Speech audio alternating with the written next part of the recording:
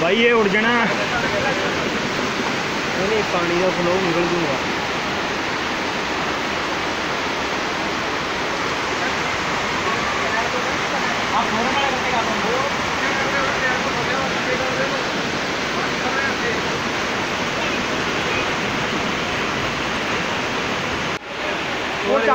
खड़ी होगी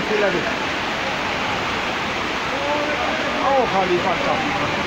ਉਹ ਕਾਰ ਦੇ ਸਿੱਧੇ ਪਾਣੀ ਦੇ ਰਿਹਾ ਹੁਣ ਪਾਣੀ ਲਾਂਗੇ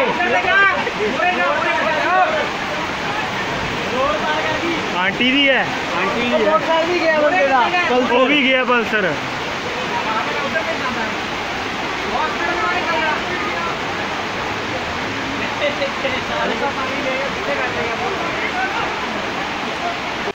ਇਹ ਵੀ ਕਰ ਰਹੇ ਹੁਣ